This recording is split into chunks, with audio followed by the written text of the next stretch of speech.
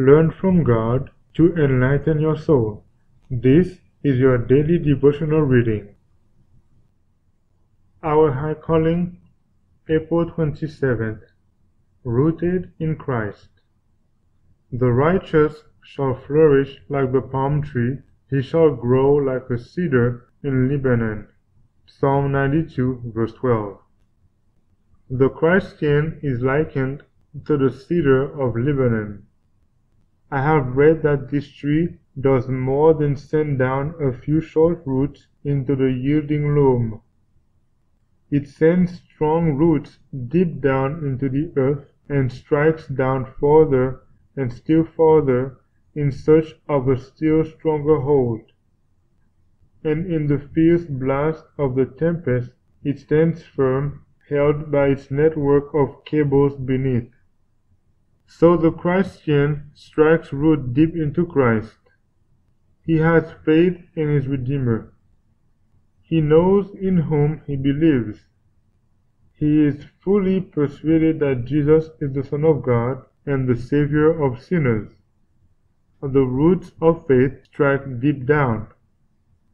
Genuine Christians, like the cedar of Lebanon, do not grow in the soft surface soil, but are rooted in God, riveted in the cleft of the mountain rocks.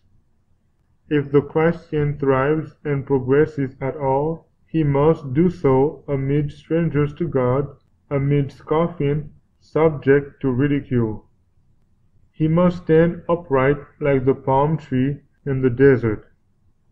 The sky may be as brass, the desert sand may beat about the palm tree's roots and pile itself in heaps about its trunk. Yet the tree lives as an evergreen, fresh and vigorous amid the burning desert sands. Remove the sand till you reach the rootlets of the palm tree and you discover the secret of its life. It strikes down deep beneath the surface to the secret waters hidden in the earth. As the palm tree, drawing nourishment from fountains of living waters, is green and flourishing in the midst of the desert, so the Christian may draw rich supplies of grace from the fountain of God's love, and may guide weary souls that are full of unrest and ready to perish in the desert of sin to those waters of which they may drink and live.